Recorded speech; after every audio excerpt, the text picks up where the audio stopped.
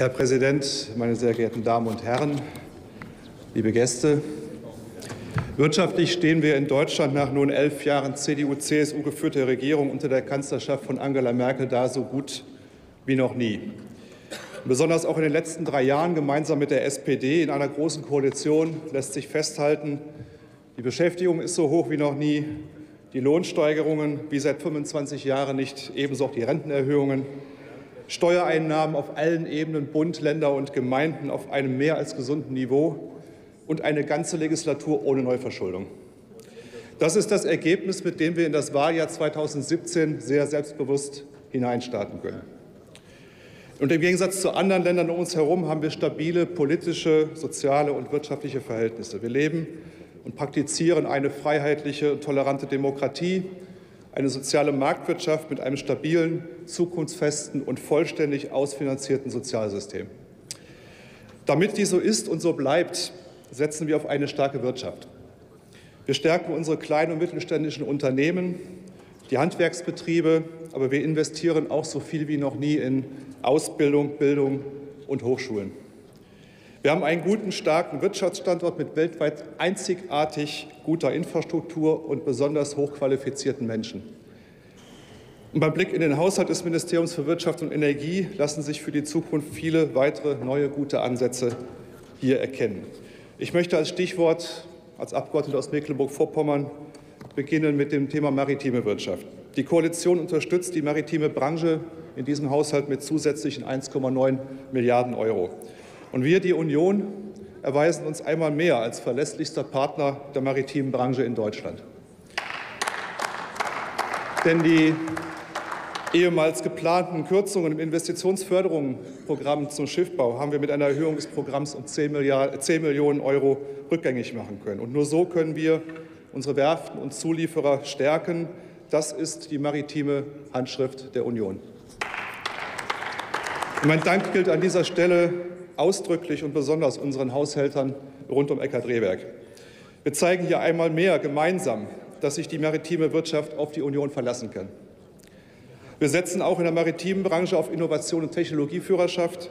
Und genau deshalb werden die Haushaltsmittel in der Innovationsförderung im Bereich Schiffbau und Meerestechnik auf hohem Niveau verstetigt.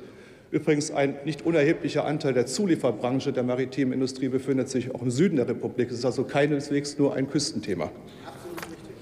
Flankiert werden diese Investitionen in unsere Wirtschaft durch Investitionen in Infrastruktur. Dazu möchte ich beispielhaft die doch mit über 750 Millionen Euro sehr gut ausgefallene Ausstattung im Bundesverkehrswegeplan gerade für den Nordosten erwähnen. Wir haben die Seekanalvertiefung des Seehafens Rostock ebenso wie die Fahrrinnenvertiefung des Hafens Wismar drin. Das sind wesentliche Voraussetzungen, um die Wettbewerbsfähigkeit unserer Seehäfen zu erhalten und die Position als Logistikdrehscheibe in der südlichen Ostsee und im gesamten Ostseeraum zu erhalten und zu stärken. Ich nehme auch das Thema Klimaschutz nicht aus. Der Bund übernimmt beispielsweise mit dem Bau von LNG-betriebenen Schiffen eine Vorbildfunktion im Hinblick auf die Erfüllung der zukünftig strengeren Werte in Nord- und Ostsee. Bei diesem Projekt arbeitet das Deutsche Zentrum für Luft- und Raumfahrt sowie Industriepartner und aber auch die Endnutzer seit 2012 übrigens schon erfolgreich zusammen. Und gemeinsam mit dem Beschluss zur Gründung des neuen DLR-Instituts für den Schutz maritimer Infrastrukturen in Bremerhaven erhält dieses wichtige Thema ein neues, zukunftsfähiges Fundament. Auch im Bereich Forschung und Entwicklung zur Wirtschaft hat sich einiges getan. Auch hier hat sich wieder die Union als zukunftsgebender Impulsgeber in den Haushaltsberatungen gezeigt. Mit der Erhöhung der Grundfinanzierung bei den Fraunhofern um 60 Millionen Euro stärken wir die anwendungsorientierte Forschung von den Fraunhofer Gesellschaften und Instituten. Wir werden die Weichen stellen für die zukünftige Entwicklung, beispielsweise in der Einrichtung der selbstständigen Fraunhofer Gruppe im Bereich der Hansestadt Rostock, äh, wo man sich mit dem Thema Großstrukturen in der Produktionstechnik beschäftigt. Professor Wanner machte eine unglaublich gute Arbeit und mittlerweile hoch anerkannte Expertise, auch geschätzt in der gesamten deutschen Industrie. Das ist dann, und da können wir ein bisschen stolz drauf sein, die erste selbstständige Fraunhofer-Einrichtung in Mecklenburg-Vorpommern. Und hier auch mein ganz herzlicher Dank an die Haushälter, dass das so möglich wird. Der Ausbau der wirtschaftsnahen Forschung in meiner Heimatstadt Rostock ist vor dem Hintergrund der in Mecklenburg-Vorpommern noch immer nicht ausreichend vorhandenen Großindustrie und auch vor dem hohen Stellenwert der maritimen Industrie im Norden Deutschlands von immenser Bedeutung. Insgesamt ist es gelungen, die Innovationsförderung für die neuen Bundesländer insgesamt auf 159 Millionen Euro anzuheben. Und das ist ein sehr gutes Signal, gerade eben auch in die ostdeutsche Industrielandschaft.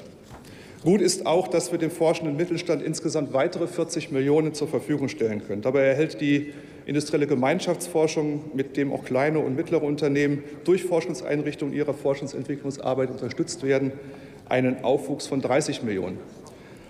Und im ZIM, im Zentralen Investitionsprogramm Mittelstand, ist ja einiges schon zu, äh, heute gesagt worden. Deshalb kann ich das abkürzen. Stellen wir auch viele neue Millionen Euro zur Verfügung seit Beginn dieser Legislatur, fast 60 Millionen mehr. Und zusammengefasst kann unser forschender Mittelstand damit über insgesamt 35 Millionen Euro mehr verfügen, als mal ursprünglich beispielsweise vom Minister selber beantragt. Und auch hier einen ganz herzlichen Dank an das, was im Haushalt möglich gewesen ist, an unsere Haushälter, dass das so mit einer Priorität versehen worden ist. Und an dieser Stelle ganz herzlichen Dank an den Kollegen Mattfeld, der sich für diese Erhöhung ganz besonders stark eingesetzt hat. Äh, wir haben da oft drüber geredet und äh, das ist wie ein roter Faden in deiner Arbeit. Herzlichen Dank. In einem Bereich muss ich allerdings auch sagen, ein bisschen Wasser in den Wein hätte ich mir mehr, gewünscht, äh, mehr Mut gewünscht. Das ist das Thema Elektromobilität.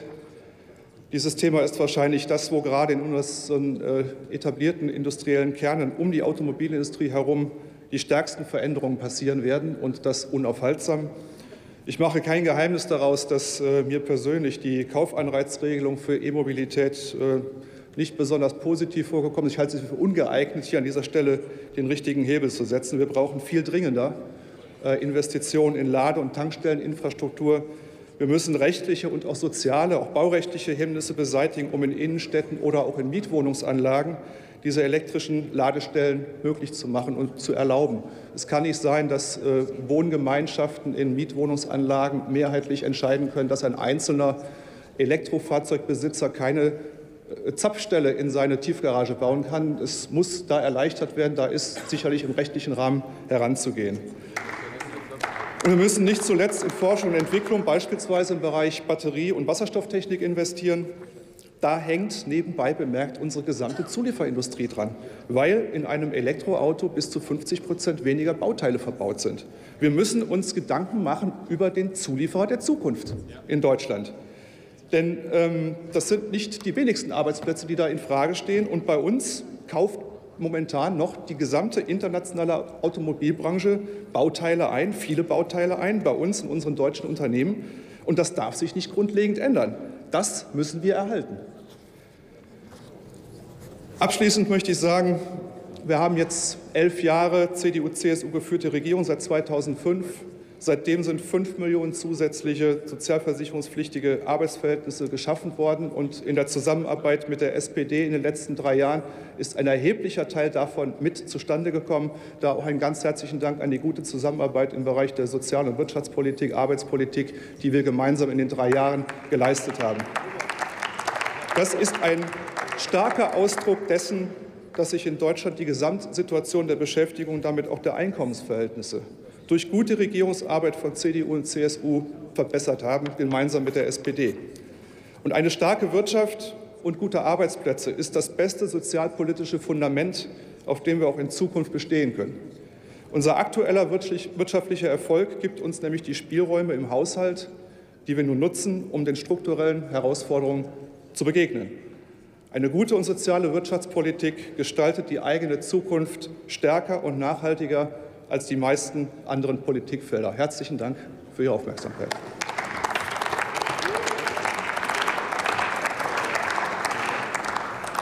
Abschließender Redner zum Einzelplan 09 ist der Kollege Professor Dr. Heinz Riesenhuber für die CDU-CSU.